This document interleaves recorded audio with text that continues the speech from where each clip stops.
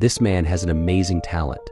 And as you can see, he creates incredible art, but that's not the main talent. He smashes paint at the canvas, and it looks like he is creating some bad modern art, but he's not done yet. Every single one of his pieces takes some time to create, and even though it looks bad right now, you won't believe what it ends up like. He keeps throwing paint, and it's still unclear what he's creating. Yet you can see he's focused, knowing precisely what he wants to achieve, and he keeps working tirelessly. But he has really practiced his form of art, the splatter paint, for a very long time. Truly he's talented. And now, he begins adding the finishing touches. Although this painting is beautiful, you won't believe how crazy this next painting.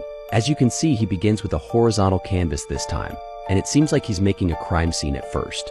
But the only crime he's committed is not being more famous, because look at this beautiful art. This sunset he made with this shining city below is absolutely stunning. So like and follow